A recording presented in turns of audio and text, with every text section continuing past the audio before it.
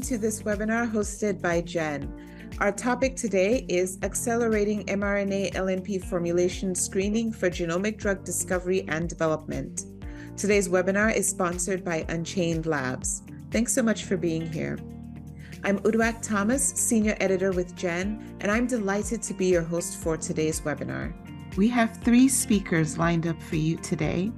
Dr. Arpan Desai is the Managing Director for Nanovation Therapeutics UK. Dr. Graham Hayes is a Senior Scientist at Nanovation Therapeutics UK. And Dr. Ben Knappett is Product Manager for LNP Solutions at Unchained Labs. Before we get started, let's get some background on today's topic. Lipid nanoparticle based mRNA technology enabled the rapid development of COVID 19 vaccines, resulting in unprecedented interest in the technology's potential. Many researchers approach the design issue via systematic optimization of lipidic components such as the ionizable lipid, PEG lipid, structural, and helper lipids. However, these approaches are limited by the low throughput and high cost of LNP preparation. In this Gen webinar, our speakers will discuss strategies and tools for rapidly formulating and characterizing LNPs for drug discovery and development. They will share results from a collaboration between Unchained Labs and Nanovation Therapeutics UK to evaluate instrumentation for high throughput controlled manufacture of LNPs at small scales and they'll demonstrate how their findings will accelerate the creation of LNP based medicines. Before we begin, a reminder that we'd love to take your questions following our main presentations. Please enter your questions at any time in the Ask a Question panel on your screen. All right, let's get started. Hello, everybody. Thank you for taking the time to join us here today. My name is Ben Knappett. I am the product manager for LNP Solutions products uh, at Unchained Labs. And I'm excited to be joined here today by Arpan Desai and Graham Hayes from Nanovation Therapeutics for this webinar on accelerating formulation and characterization of LNP-based genomic medicines using high throughput screening.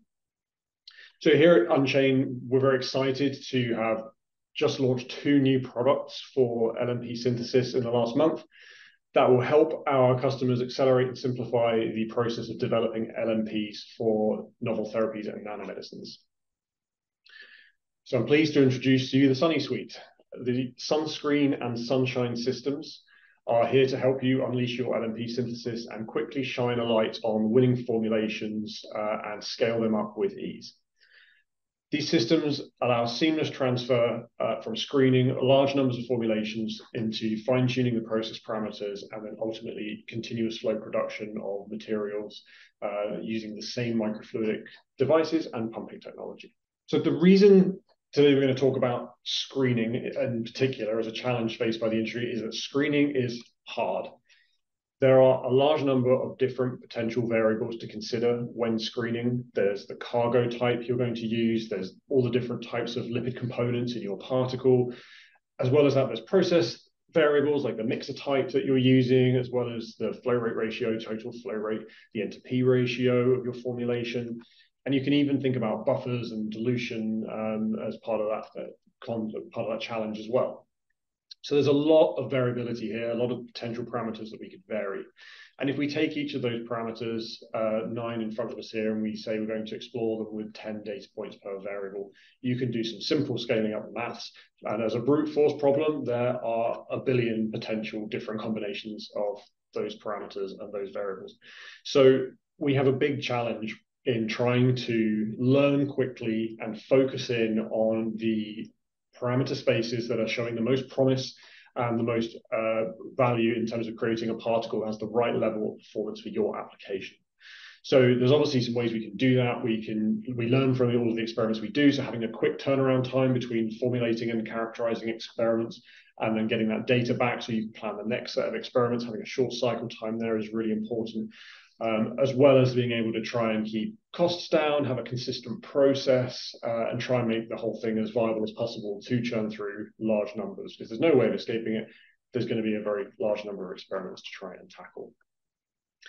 And that's where sunscreen comes in. Sunscreen has a 96 well plate format, allowing you to have your reagents and collected samples in a format that transfers and works really well with uh, upstream and downstream processes for high throughput.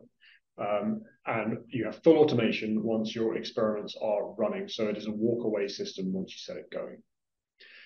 We can work with volumes down to 100 microliters per input. So that could be as little as 200 microliters per experiment, which makes a really big difference to the costs when you're talking about doing hundreds or even thousands of experiments as part of your screening project. Add in reusable microfluidics and an ability to transfer your process directly from our screening platform onto process optimization and continuous throughput with Sunshine, then sunscreen really is one of a kind as a solution for nanoparticle formulation screening.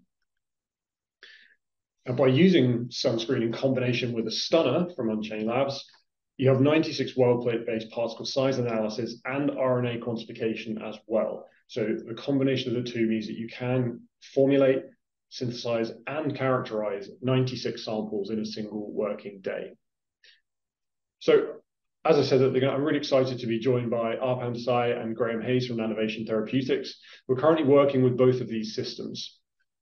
Uh, I'm working on screening lipid libraries um, to identify specific combinations of lipids to show prom promising performance in vivo.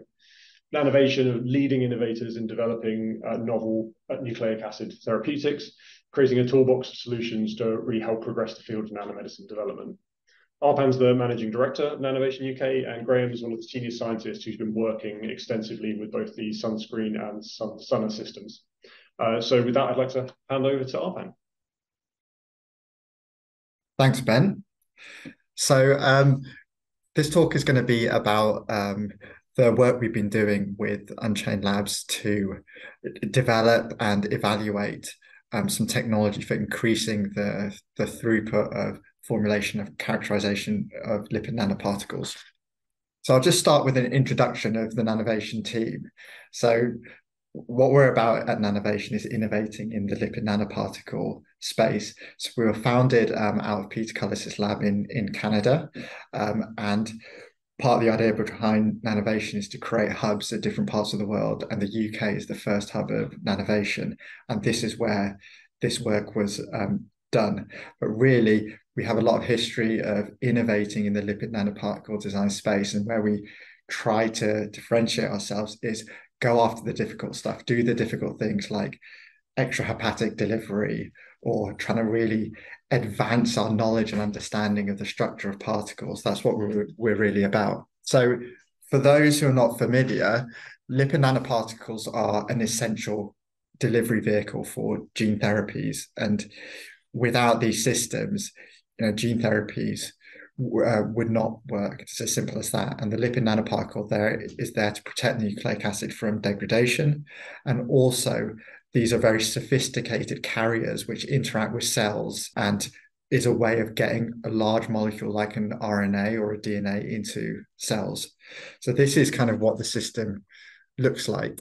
It's a complicated system. You know, you can see a simple graphic like this, but what we're really looking at is thousands of molecules of lipids.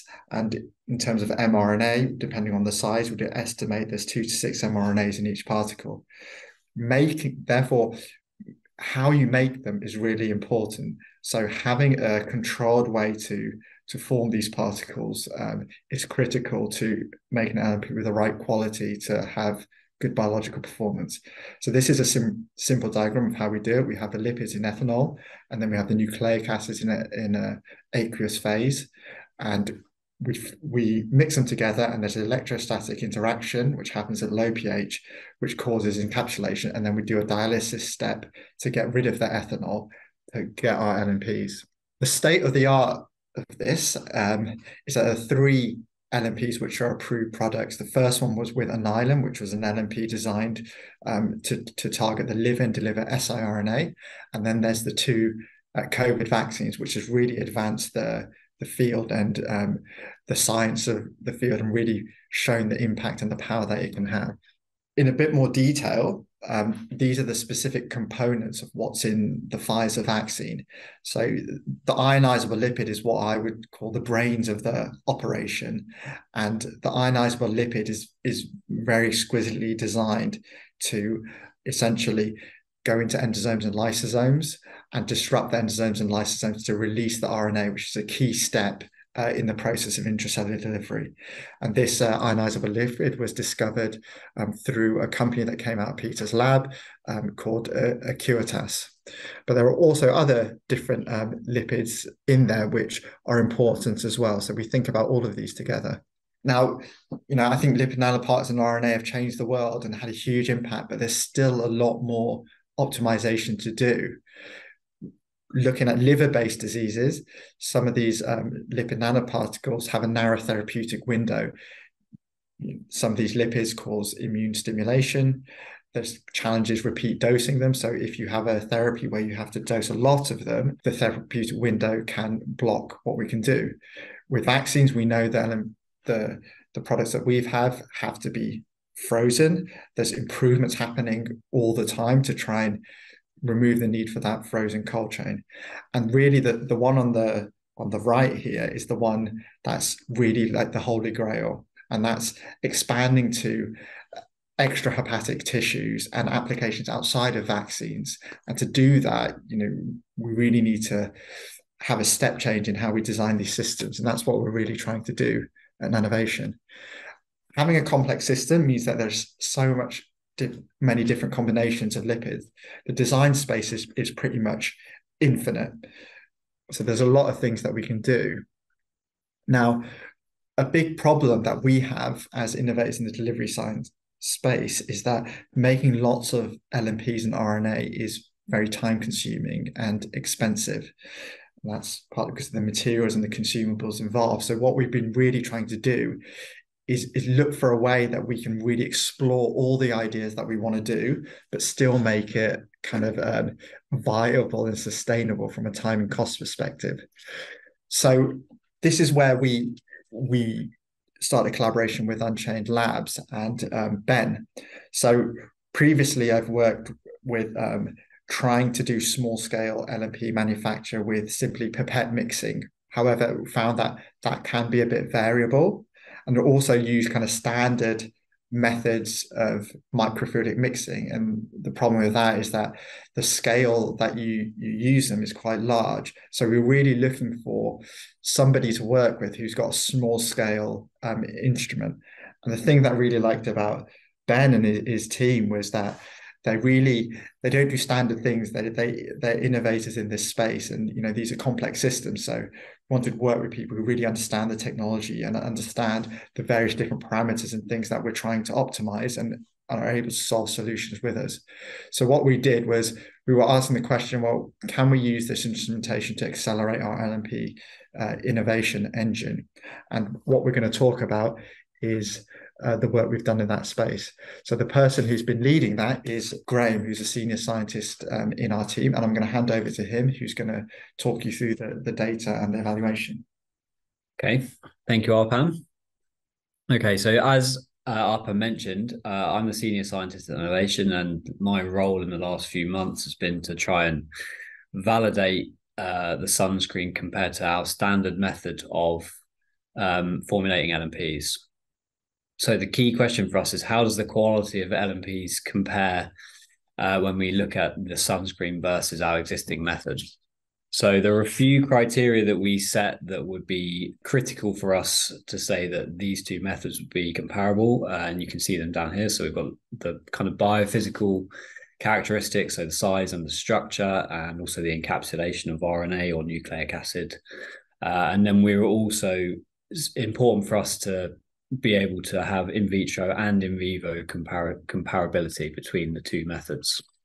Um, so this was the kind of experiment that I designed to try and begin validating um, the two methods. So what I did is I took, um, I made stock solutions of both the lipid and the RNA for the for the LNP, um, and then I split those up into different aliquots.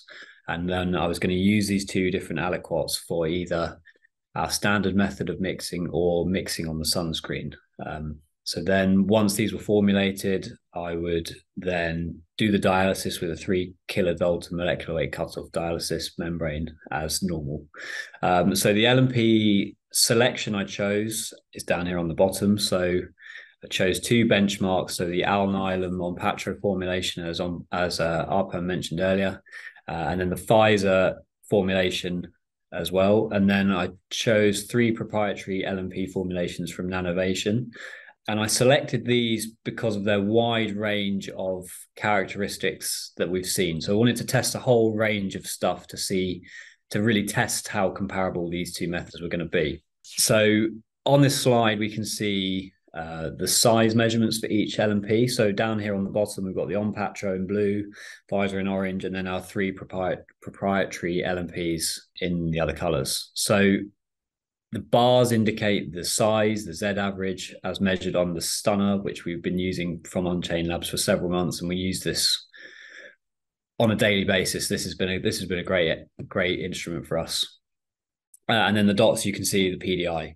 And what we can say here is that the size is for every single LMP between the standard method of mixing and the sunscreen method, they're identical. So we were pretty happy with this.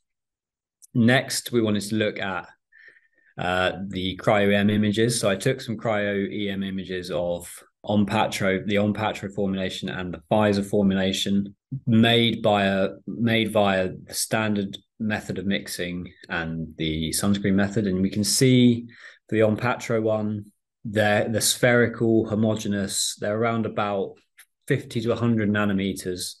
And you can see that between the standard method and the microfluidic sunscreen method, this, the, the particles look identical. Um, with the Pfizer one, this one typically has this slightly unusual structure in that you can see it's it's not spherical um, and you have this blebbed structure which we think is where the RNA is encapsulated.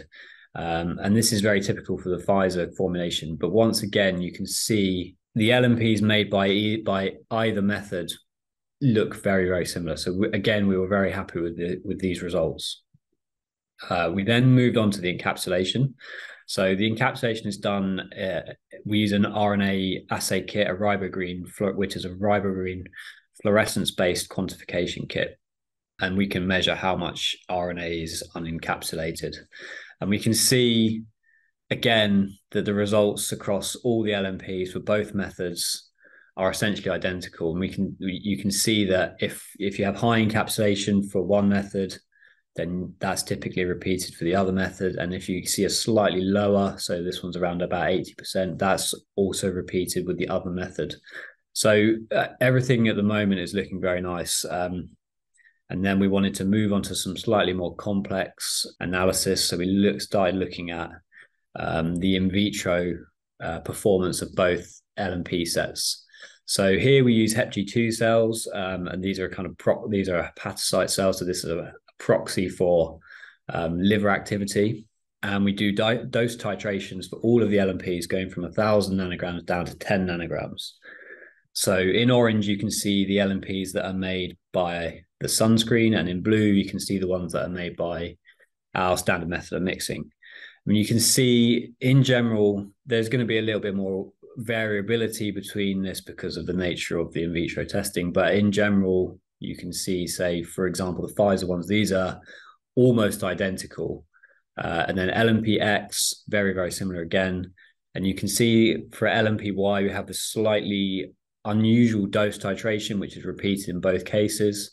And we can see here for LNPZ that the high dose much, much higher for the sunscreen method, but you can also see that this is repeated with the standard method. So Uh, this this is kind of at this point we were pretty we were pretty convinced that both methods were making are making exactly the same types of particle, no matter what the morphology or or the composition are. So then to finish off our our validation, we looked at some in vivo testing. So the pipeline for this it kind of works in that we administer the LMPs to the mice, then we wait for four hours, and then we administer a substrate.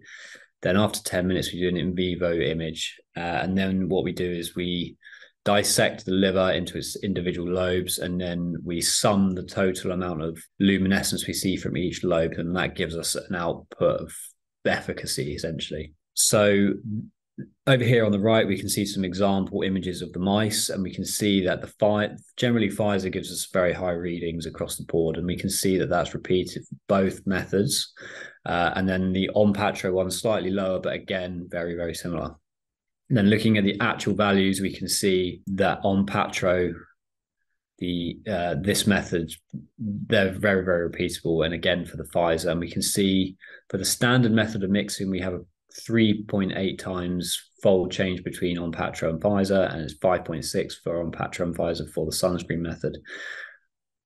There's even more chance for for variability here, but these results these results confirm for us that the sunscreen is a viable method to make LMPs. And to summarize all of the data, we're of the opinion that they make identical LNPs essentially. All of the all of the quality criteria have been met. And we're now using this as a regular tool to screen wide varieties of LMP formulation. Okay, so to conclude the validation experiments that I've done, we're very happy with the high throughput formulation techniques that um, Unchained Labs have provided us with. So the sunscreen makes identical particles for us. Um, and I should also mention that uh, we've regularly been using the Stunner instrument to measure sizes, RNA concentrations, and measure RNA quality throughout multiple projects. Um, so both of these instruments have been have been and will be key for us in the future to make LMPs in a high throughput way. Thank you for listening to me. I'll pass over to Arpan for the summary slide. Thank you. So I'll just um, summarize the impact that this has had on our R&D program. So what the what the stunner and the sunscreen mean is that we can make LMPs a lot faster um, and with a lot less material. Um, for example, Graham uh, last week made 60 LMPs, which took about three hours to make. Whereas if we were going to, if we did that with our standard method, that would take several days, potentially weeks to, to do that. And it's also been done with approximately 10, 10 times less uh, material as well. So that simply wouldn't be possible with our standard method. And what it means is that the, the elements that you can see uh, in our toolbox that we're optimizing on this slide is we can just explore more and more design space. And it ultimately means we create better LMPs, and it means that we're going to be able to make more medicines for patients. And a very warm welcome to the live Q&A portion of today's webinar. Thank you so much for joining us. We've got some great questions that have come in. A quick reminder that if you do have a question, please go ahead and put it in the Ask a Question panel on your screen. We'll be taking several questions over the next few minutes. All of our speakers are here, Ben, Arpan, and Graham, and they're ready to take your questions, so please do keep them coming. Thank you all for joining me today. All right, I will go ahead and get started. We've got a few questions to get through. Um, first question I have, how long is the mRNA stable at room temperature, I believe that is? Uh, Sunny Sweet Solutions does not currently offer thermoregulated well plates. Um, who'd like to take that one? Uh, yeah, I can start with that one. So uh, you're right; it's a room temperature system at the moment. Um, the, the the the plates themselves are uh, covered with seals, so the, the, RNA itself is protected from contamination during the runtime, which really helps uh, significantly with the stability at room temperature. Um, also, we've done tests internally of the kind of first well, um, you know, we synthesize uh, our particles and then wait six hours as a worst case sort of scenario of a longer, longer plate run, um, and then measure those uh, samples and test them for um, transfection efficiency, and also keeping reagents on the inputs for, for a similar amount of time, six hours, and then turning them into a particle um, for processing and, and, testing encapsulation efficiency. Um, and we get good results uh, on encapsulation efficiency for either of those, so we can show stability of the RNA you know, through the duration of a well plate when you cover the wells and prepare the RNA cleanly. It's obviously something that might be a little bit variable depending on the RNA you're you're using, um, and so there's nothing that obliges you to necessarily run uh, the full six hours of experiments. If you wish to break it up into smaller chunks and, and run in blocks to start downstream processing sooner, that's something the system's perfectly fine uh, to do. Uh, but I'd also offer that question up to, to Arpan and Graham for comment. You guys have been using it fairly extensively. How have you found it? Yes, please. You want to go first, Graham? Yeah, sure. Um, we haven't really specifically looked at RNA stability over time. Um, I think this is a potential issue, but I think we're pretty confident that RNA stability is somewhat overblown. Um, so uh, I've yeah, I mean this is something this is something to look at, but I feel like leaving RNA at room temperature for two hours in a sealed container, as Ben suggests, is not going to be a problem. Yeah, um, I think what I'd say, I think there's a lot we're learning about uh, stability, and I think it can be a function of uh, your your lipids that you're using as well. So I think there's a, you know there's a lot of nice work from Moderna and other colleagues who show having certain impurities in your lipids can affect uh, well cause reactions with the RNA and cause degradation. So I think um, that equation is you, you, do have the temperature issue, but it's going to depend on what lipid you're using. And I guess in, in our evaluation, we used a range of different kinds of uh, lipids and kind different kinds of compositions.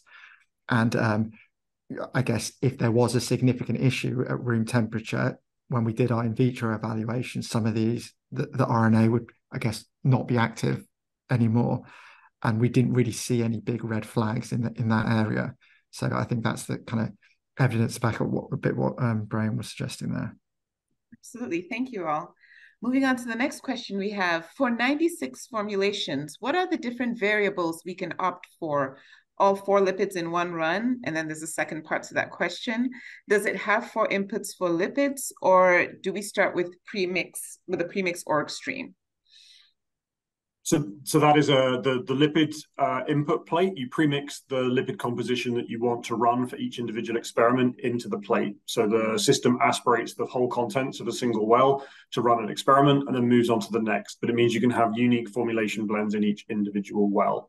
Um, so, so that's the um, the use case for the, the lipids. In terms of variables that you can change, you can change the total flow rate, the flow rate ratio, the amount of dilution you add, uh, a head and tail cut that's user definable per experiment to, to target your collection to the center of your sample if you wish.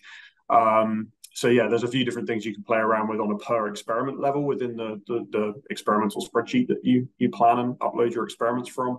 And then obviously between runs as well, you can change the Sunny, the microfluidic mixer to, to try different mixing geometries as well. So uh, yeah, there's, there's, quite a lot of flexibility built into the system uh, for you to play around and experiment with what works best for your formulations. Excellent, excellent. Arpan Graham, did you want to add anything? I, I mean, I, I just, I just add, I think that like the most amazing system would be if you can like program your specific combination of lipids in, and it just does it for you. That, you know, I'm sure Ben will come up with that someday. Uh, how, but it's be quite complicated to do. But the way it is at the moment with a plate, and if you just use like a multi-channel pipette to to make your premixes, I mean, it's pretty. I, I, I would say you're not going to save huge amounts of time. Um, I, I imagine. I think it's it's it's not that hard to do to make a lot of combinations of different kinds of lipid nanoparticles quite quickly um, with premixing. W- would you agree, Graham? Yeah, I'm. That's mostly what I've been doing recently with with um, the instrument is mixing novel lipid compositions other than the four kind of standard lipids that people use. Um, it's not as bad as you might think. um, but yeah, as Arpan says, any, a system where you can have all the pre-mixed lipids, all the lipids coming in together, that would be ideal. But yeah, yeah, because when we were designing the system, we were trying to come up with the right kind of balance and compromise between overall costs, time saved, and what you know how much we bit off in terms of which parts of this process we tackle. So we took on the automating the microfluidics aspect of it, knowing that there are some robotic fluid handling systems out there that if you wish to use those already to to, to automate that pre prep prep of the plate, um, you could do that.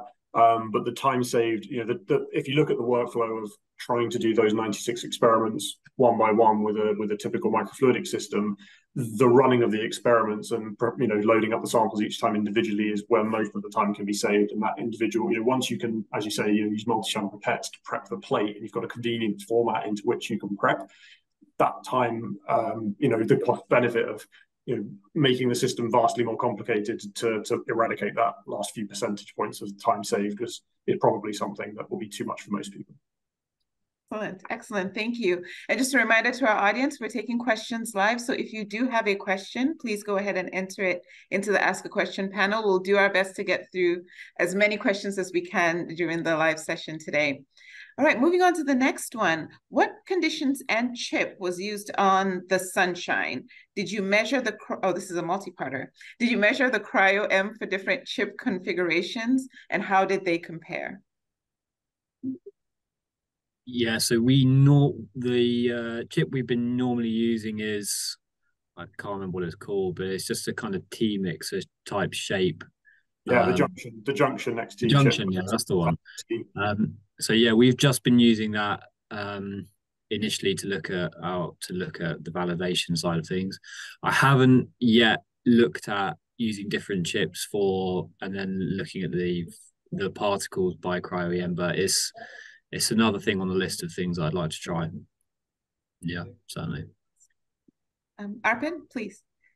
Yeah, so I mean, just on on the background, so when we started our collaboration with um, Unchained Labs, we we kind of came down to see them, and we find that they've got uh, one thing we really liked about was there's lots of tinkerers and there's people making these chips um, in the workshop in the place I'm in now, and um, one thing that I was kind of uh, I thought there was a lot of potential in it is that the fact that they have the expertise to make a lot of different kinds of chip geometries. Um, so um, I think one of the advantages of that is like if if you want to do like different like you want to mix things in different orders or you want to try out something which is a bit funky like um, you know you want to do different kinds of dilutions and stuff like that uh, one of the things that attracted is that it, it, seemed like they can make any chips you want. So I think that that's a really interesting area that you know I, I think is interesting to explore. Absolutely, absolutely. Thank you. What's the benefit of using Stunner over a typical DLS plate reader?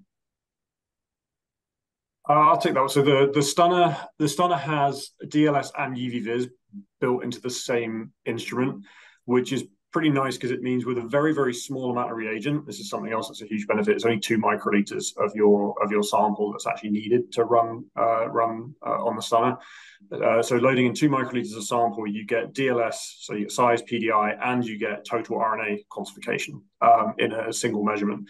So within an hour you can get full 96 well plate analyzed. And actually that we've been doing testing early and getting really nice results using that total rna concentration value as essentially half of the ribogreen assay uh, data that needs collecting. So you just need to measure your free RNA with ribogreen rather than having to lyse the particle and measure the total RNA because you already have that data. Um, so that downstream encapsulation efficiency workflow is halved, um, and you, know, you, get more data in a, in a, in a single measurement. Um, yeah, so it's a, it's a pretty pretty nice system. Pretty happy to have one in the in the lab here. Excellent. I'm going to keep moving along. We've got lots of questions coming in, so we're going to try to get through as many as we can. Uh, but audience, please keep them coming. How could the sunscreen platform be used to improve the transfection efficiency of LNPs? Um, who'd like to start with that one? Uh, I, I can I can give it a stab. So a, a, very good good question. So, and you know exactly what we're we're trying to do. Um, it, it, essentially, you what I, would say is that it just um, it, it because it, it reduce means less reagents and it reduces the cost of screening like large libraries of combinations of compositions. So um, it enables us to explore design spaces that previously would have been um, you know just too expensive to go down. So I think Graham mentioned it. Things like um, introducing a new lipid and then um, looking at a range of different comp- different ratios of that lipid um, you can do those kind of things and then um, explore hypotheses around improving transfection. So um, yeah, different, more a bigger design space, I would say. And Graham, anything to add? Yeah, I would say that there are other added parameters that the, the sunscreen can work with, like the mixing rate in different chips and stuff. And I mean, these things have the potential to alter transfection. Um, it's not something we've looked at, but yeah, it's something that should be looked at. Excellent, excellent. Okay, moving on to the next question. Um, I'm going to try to read this correctly. Um, sunscreen uses microfluidics. Um, I think this is how can contamination be avoided in between formulations, if I'm understanding the question correctly? Sure. So the, the system is set up using um, what we call driving fluids, which are typically just ethanol and your aqueous buffer with without anything uh, added into it in storage bottles on the top of the system. And these fluids are used to hydraulically fill the system and then push your samples around the um, around the system to the microfluidic mixer and then into collection. Those same fluids get pushed through. So after your sample goes through, it's followed by the driving fluid, um, which cleans the um, sample straight out of the out of the chip, and then we end up with um, a, a, we have a cleaning step that then actually happens in between every experiment. So more driving fluid is then actively flushed through the the, the system. Now that's user definable, so you can kind of set the set the level of, of that um, cleaning as well um, which which helps a lot if you know you're working with a, a you know a stickier solution and you want to put um, you know, more cleaning material through. You can set it to do that automatically. Um, and even further than that, if you wanted to put in a, if you're switching fundamentally between some different lipid types and you wanted a more aggressive clean, you can actually use one of the wells on the well plate to load in a cleaning solution. So one of your runs is a, is a cleaning solution that goes through, is then swept through the system, and then you start the next row of experiments um, to, to, to be extra thorough. So there's lots of ways that you can implement additional cleaning, but it's built into the system automatically, happens between every experiment. Excellent. Moving on to the next question. Why did you choose the 3K MWCO dialyze, dialyzers? I hope I pronounced that correctly. And how do they compare with the 30, 50, and 100K ones? Um, we initially chose those because those are the ones that we've been using historically, so we wanted them for, comparable reasons, really. Um, sorry, what was the second part? Why didn't we use the larger how, how did they how did it compare to 30, 50, and 100K ones? I'm not sure we've looked at this. I think we have some in the lab. Um, yeah, don't take my word for this. I think I think they're I think they're very similar. The results we get, but I yeah, I'm not 100 percent sure. Uh, Arpan, Ben, did either of you want to weigh in on this one as well? Uh, no, I, th I think Graham Graham covered it. Excellent. All right. Moving on to the next one. Um, does the equipment evaluate RNA integrity? And what approach do you use regarding this important quality attribute? So the device itself doesn't have it built into it. It's it's a formulation device. So we prepare the samples, and then um, you know RNA integrity is something that you can easily measure um, downstream, um, whether that's using a kind of a plate-based solution to do that, or um, or just by um, inference when you do your transfection or in vitro and in vivo testing. Um, again, I can I, I, defer to to Arpan and Graham as to you know how you've been monitoring that and you know inferring stability from your from your test data. Yeah, so I mean, empirically through the tran- looking at the transfection activity, um, we you know we don't routinely do like a specialized RNA integrity assay but I think as we learn more, I, I think it's it's something you know, I'd be keen to kind of think about in our workflow. And you know, you can do it with a like a fragment analyzer to have a look at your RNA integrity. Um, but uh, yeah, we we don't we don't routinely do it. But yeah, I, th- I think we should consider it more and more. Excellent, excellent. Thank you. Moving on to the next one, what kind of throughput? Okay, this is a multi-part question, so I'm happy to repeat any components if necessary. What kind of throughput are you screening on a regular basis? So for example, how many LNPs per week?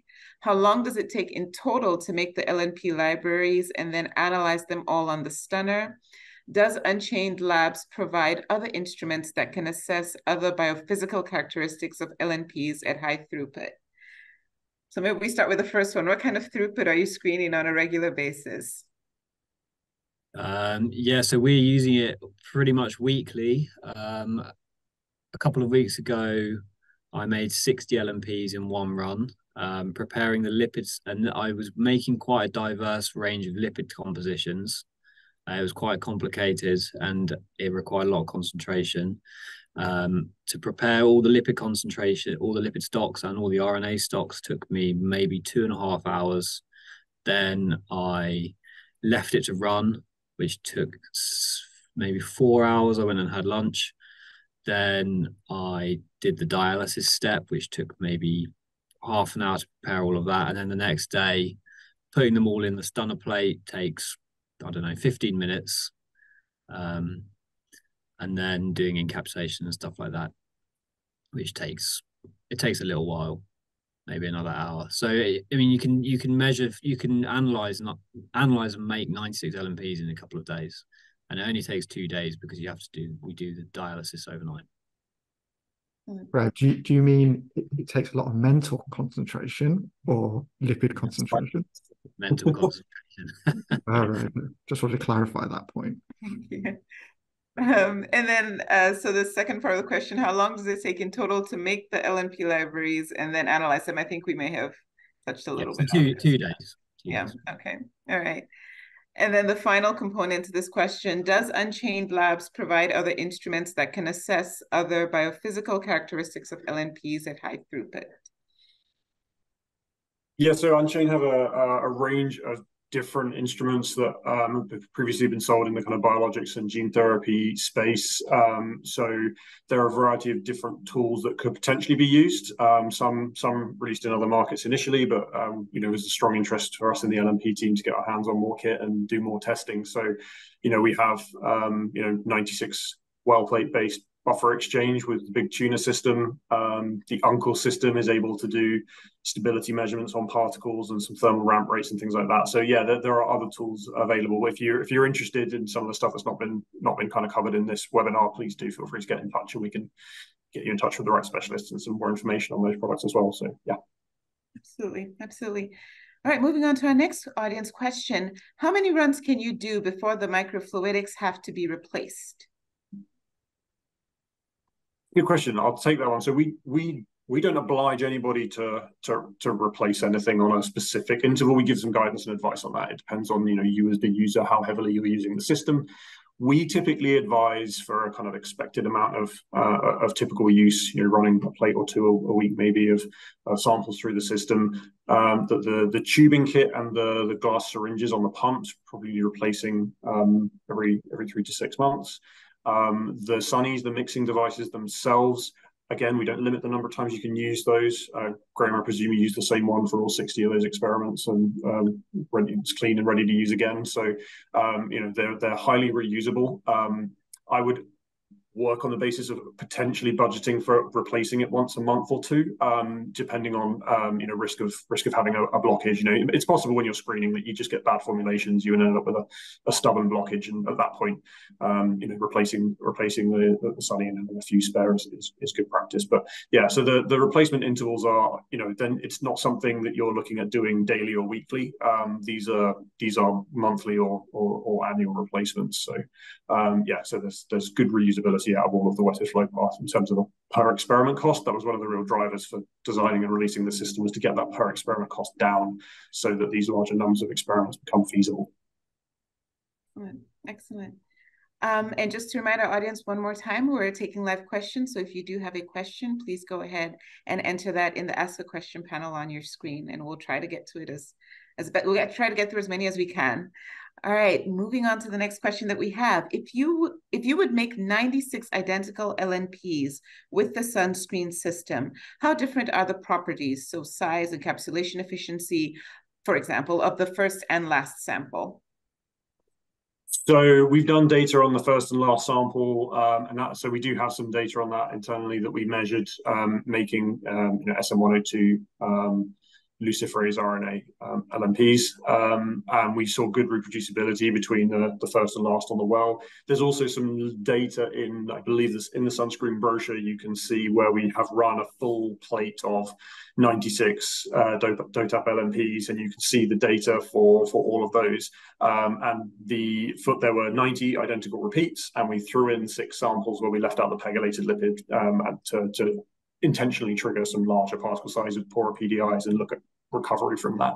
Um, and for the 90 samples that were identical repeats of one another, we got a less than 1% CV on, on the size. So it's highly reproducible in terms of producing particles of consistent quality run to run, um, which means that hopefully that feels people will eliminate the need to do quite so many repeats, for example, to, to, to, to try and get valid data. You can you can really trust the integrity of the of the samples being measured, which is which is good. Excellent, excellent. Arpan, Graham, did you want to weigh in on this question too? Um, only that we've made Pfizer and Onpattro compositions between batches, and they always look pretty comparable. Excellent, excellent. Thank you. All right, next question. So uh, we prepare a plate with with the required combination of the lipids in the wells. Is it a covered plate? And if not, uh, ethanol will evaporate and the concentration will be different over time. So I think they're asking if the plate is covered. Yes. Yeah, yeah, so we we we're compatible with um, well plate seals. So we supply the system with two different types. We recommend using a foil, a heat sealed foil plate on the input, um, because if you once you've got a heat sealed foil on there, um, you really prevent all evaporation from from those samples. Obviously, once the the needle from the system punches a hole in the foil, it leaves a hole in the top surface. So for the inputs, that's no problem because you've already aspirated all that material and you're onto the next experiments. On the collection plate, you don't really want it to be stabbing a hole in your seal and then leaving a kind of permanent hole there for, for, the, for how long the rest of your run is. So um, we also provide pre-scored um, plate covers. So those pre-scored plates, the, the, kind of flaps and then fold apart when the needle goes through to deposit the sample, and then as the needle comes back out, the plates kind of recover. So those also prevent the majority of evaporation uh, as well, and particularly um, you know contamination ingress as well, which you want to absolutely avoid with these samples. Excellent. Excellent. Is it possible to formulate different lipids in each well? Yeah, so you, you guys can take that if you want. Uh, you, you've been doing a lot of different lipid testing. Yeah, so we do that regularly. Um, we designed a calculator to allow us to formulate basically whatever lipid composition you want. Um, so we we you can make 96 LMPs all with completely different lipids if you wanted to. Excellent. Excellent. All right, next question. What is the minimum and maximum output for, for the sunscreen system? So it's compatible with uh, two milliliter deep well plates. So the upper collection limit is two milliliters. Uh, and on the lower end of collection, um, you can go down to around 100 microliters. Um, typical experiment volumes, if you're running a three to one ratio, a typical low volume experiment is normally around 400 microliters. So for most people, taking a small head and tail cut from that, you might be collecting around 300 microliters. In reality, it can go down to lower, but obviously that means discarding more of your uh, more of your sample that you've been running. So um, yeah, so that, that gives you an idea of what like a typical experiment would be like. Um, Arpan and Graham, I don't know what sort of volume is actually you're typically running um, each of these formulations at. Yeah, so we're running around about a milliliter. Um, you could go less and up the concentration if you wanted to, because we're using ours for in vitro testing, so we need a certain amount of RNA. Um, but yeah, around about a milliliter, but you could go down if you wanted to. Excellent. All right, next question. Have you checked the LNPs from your standard method and those of sunscreen for nanotoxicology in vivo? Arpan, Graham, would good, you like good, to? Yeah, good question. No, we haven't. Um, but I guess we've observed the protein expression to be very similar. So um, I yeah, and the you know the structure looks very similar, and the in vitro expression looks similar. So I'd be very surprised if it is, if it do, it does turn out to be different.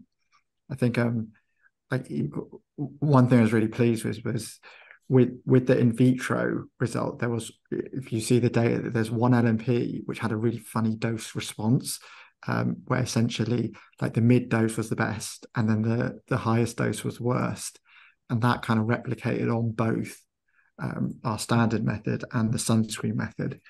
So to me, um, that indicates that like even if it's like there's like something subtle going on, it, it replicates on both methods. So to me, that gave me gave me quite a lot of confidence. Graham, did you want to uh, weigh in at all? Uh, I think Arpan's pretty much covered it. We do look at in vitro tox toxicity. Generally, everything is always is always fine. So it's not. I mean, it's not great.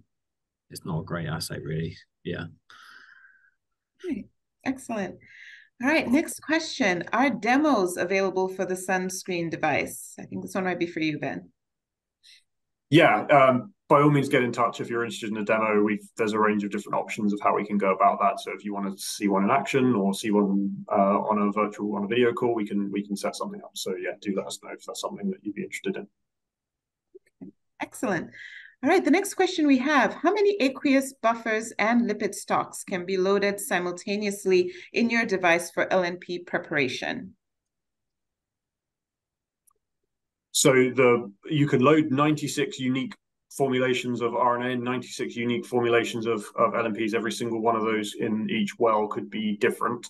The one thing that's consistent um, for every experiment that you run on the system is the driving fluids. So the bulk fluids you load into the bottles on the top of the system are used for every experiment. Um, hence, typically we use a we use a, a, a comparable buffer um, in the um, in the driving fluid for the R RNA line, for example. But again, if you use anti-dispersion technology that prevents the the driving fluid from intermixing with the, the sample slug, there's no reason you can't use a different buffer or a different pH or concentration in your actual sample reservoir and then collect that. Um, so so yeah, um, that's the that's the difference between what goes in the well and what's used to push the push those fluids around the system. Excellent, excellent. All right, we have time for a couple more questions. Um, Arpan, I'm going to come to you for this one. Uh, can you tell us more about, uh, any more about your previous production method?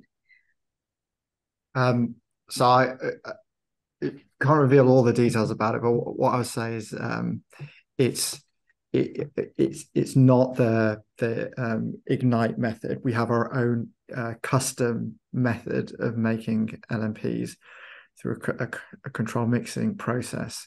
Um, the the reason we, we we did explore the sunscreen is that that process that we've got um, it takes much larger volumes and larger amounts of RNA that you have to put through it um, to to enable it to work. So yeah, that's a uh, Great, thank you. And I'm actually going to stay with you for this next question. Um, did you use design of experiments uh, with sunscreen? Uh, yeah, I think by design of experiments, we mean like, um, you know, altering the different combinations of things in a systematic uh, way. A absolutely. And, um, you know, I think that's, it, it's one of the things that you can do with this, which is uh, much harder to do when you have like a mid-scale kind of system. So yeah ab- absolutely um that's yeah we do that. Excellent. Excellent. Thank you okay we've got time for one more and ben i'm going to come to you for that one. How does the validation spreadsheet work? Oh sure. So that's um that's an excel based tool. Uh so you simply prepare all of your experiments in that spreadsheet. It's got a series of different tabs and a little how-to guide at the front. The you can input experiment-wide parameters like setting, as I previously mentioned, you can set your wash level, you can choose which of the Sunny microfluidic devices you want to run with, um, give a description, all those kinds of things. On the main experimental planning tab, you have a big table where you can input your um, flow rate ratios, the amount of dilution, the total volume of sample you want to collect, specify the head and tail cut volumes, and then you can add some metadata for each experiment you want to run. And what the system, what the spreadsheet will do is look at the data you've input, calculate what that means in terms of the pump flow rates that need to be set and the volumes that need to be processed. And it will just give you a green cell to tell you that that experiment row is valid. And if it's not, it'll go red and it will show you why it's red. And that lets you pre-plan all of your tests ahead of time. If you put in something that was a bit wacky and it, the system can't quite run it, you'll know that way before you get down to actually run your experiments and prep all your reagents and things like that. So it's a really, it's a handy way to just be sure that the experiments you've planned out are going to all run just fine when you get down to the lab. Um, and it also has some nice schemas of the well plates um, telling you what volumes of what formulations need adding, which is kind of handy um, when you get down to, to actually start prepping the plates.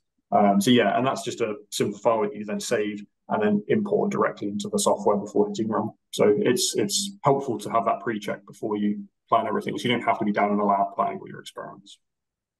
Excellent, excellent. Thank you all so much. That is all the time we have for today's webinar.